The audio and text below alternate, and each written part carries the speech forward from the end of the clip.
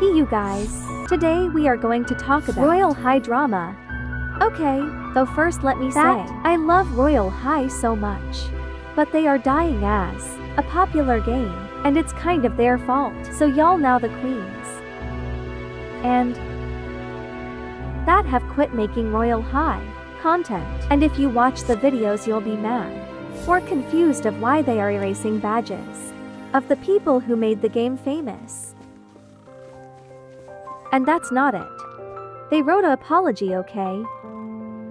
Cal Mehuli made a video about it. And so did many others. A lot of people think it's AI generated. And so many people are making videos about how it looks so AI generated or fake. They haven't been updating. But I love Campus 3. I still love Royal High. And some people were mad because she released the new set late. She still released it on the same day. just day. a few hours late. After all of this, in this video, thank you for watching all the way here. If you guys like this video please like and subscribe. Have a good day. Bye.